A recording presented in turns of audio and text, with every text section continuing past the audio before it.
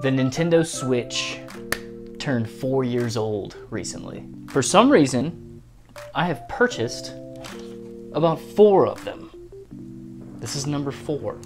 And for some reason, I keep selling them. Actually, not some reason, it's I don't ever play them. I had no reason to really play. No, the one that I kept the longest was when COVID first came out Animal Crossing. This one, though, I'm determined to keep. And I'm determined to keep it by painting it. And I figured if I paint it, there's no way for me to get rid of it. I'm gonna keep it. I won't be painting this at all. What I'm gonna be painting is late Dock. So the dock is, you plug it in, right? It's got a power source, it's got an HDMI cord, and you plug it in, you hook this up to the TV, you slide the switch into the dock, and it hooks up to the TV. You take it out of the dock, and it plays in handheld mode. What I'm gonna do is I'm gonna disassemble this thing and then I'm gonna take all the, the components out, like right, I'm gonna take all the electrical parts out and then I'm gonna spray paint it and then I'm gonna custom paint the dock. Let's get into it. Okay, this thing seems simple enough to disassemble without any sort of instruction.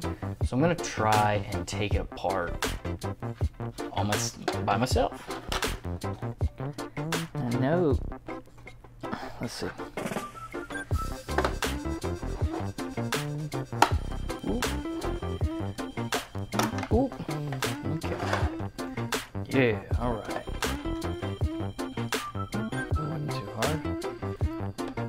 Thinking, I'm predicting that it's only got like two screws holding the, the electrical portions. It seems very similar to the way you put a motherboard in to a computer when you build one. Ooh, yeah. And there it is. So this is being held by clips. Literally nothing but a clip. Whoa. Awesome. Okay, and I do see this here. Hmm, Probably Yes. There she is. So all of this, just like this. Let's go paint this thing. Alright, so I usually use this satin Rust-Oleum that you can get from Walmart, but I'm actually gonna try this gold gold spray paint. Never used it before, so we're gonna try it out today.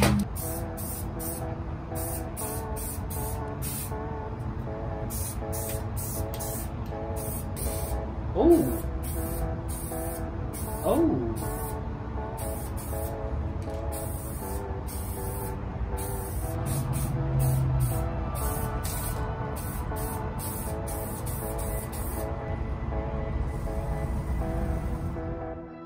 The painting begin. I went ahead and chose to paint the box art for the new Legend of Zelda Link's Awakening for the Switch. And granted, I've never played this game, and to be frank, to be honest, I've only ever beaten one Zelda game, the Phantom Hourglass for the DS. But I love the idea, the concept of Zelda, of Link. His character design is really cool, and to be honest, the very first person who ever inspired me to do art was a friend of mine. His name is Austin, and he would come to school in like the fourth, fifth grade, and he had drawn Zelda. I'm sorry, he would have drawn Link with the sword and the shield and the cool pose, and that right there drove me to to paint, to make art. And so this is kind of like an homage to him and to that memory and to Zelda.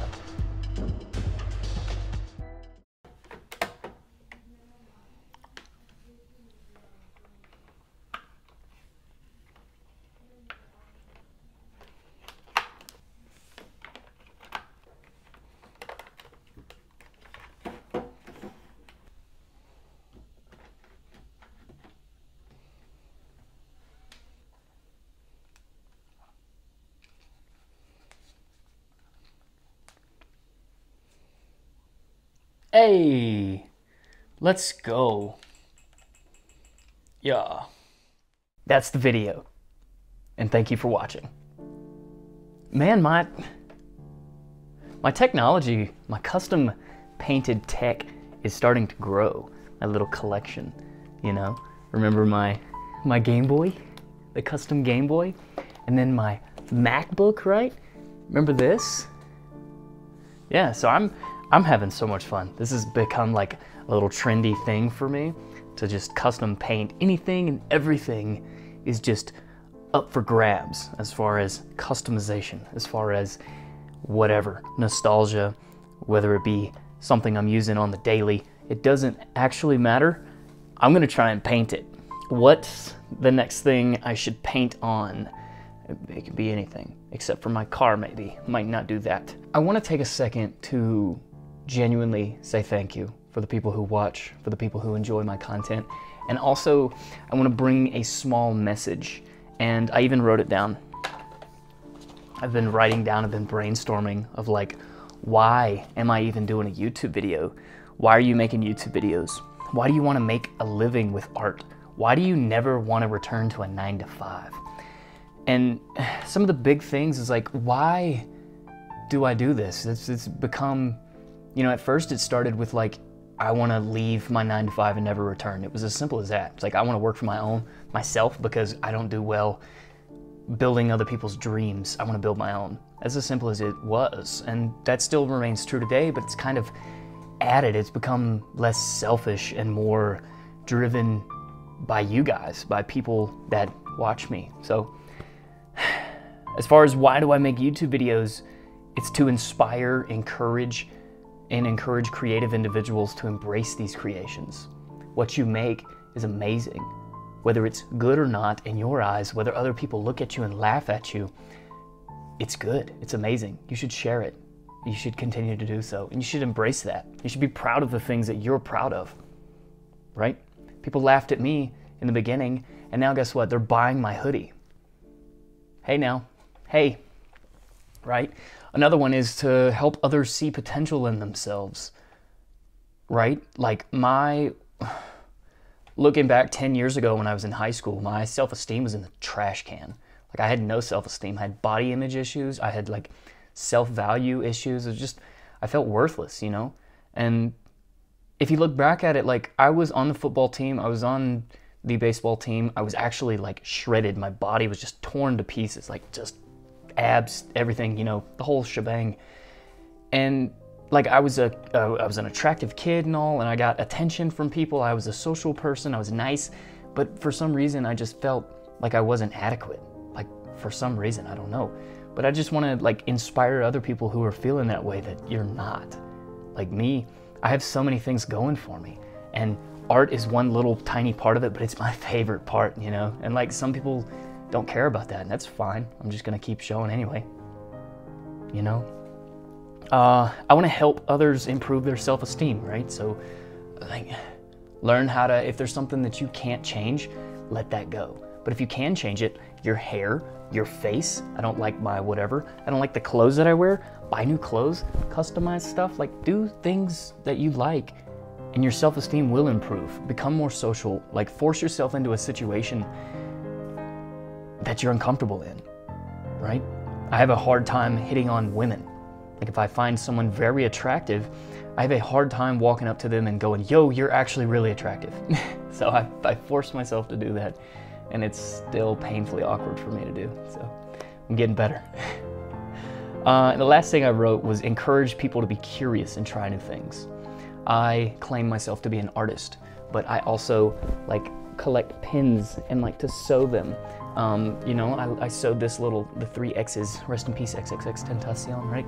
So drawing with a Sharpie, painting with acrylic on a piece of wood, right? Painting on a $300 gaming console, right? Painting on just things, like doing, experimenting. I cut my own hair, like I stretch my ears, I try things. I make, I, I love woodworking. I'm sitting on a stool, actually, that's made out of, it's made out of wood out of a couple of pieces of scrap wood. So try new things. You're not limited to one or two or three or 10 or a 100 things. You, you try things and change your mind if you want to. And that's the message, right? So I hope you enjoyed. Thank you for watching. This is the Hunt Studio. I'm going to cut over to me. If you stayed this long, I opened up a package and I want you to watch me open up this package. It's really special to me. See ya. I bought a t-shirt from an artist. Her name is Mary June, and you can find her on Instagram right here. First off, I want to look at this packaging. That is insane. Like she has a piece of her art printed on the thing. This is what I ordered. Wow. She's doing a series of shirts where it's shading techniques, right? Very cool. And I got it in this. This is a really nice t-shirt. This is a very, very nice t-shirt. What's it say on this on the sleeve? Shading techniques. Very, very cool. I got a button, right? A cool button. This is awesome. Yes. Yes.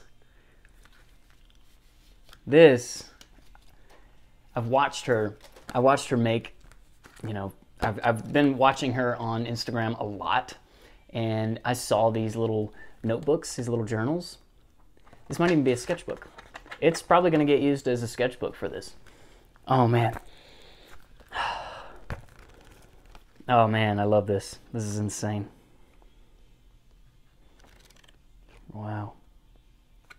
This is her coffee coffee series pocket edition. Very cool, very cool. And a nice little note. Super cool. Support your favorite artists, people. Support your artists. Buy stuff from them.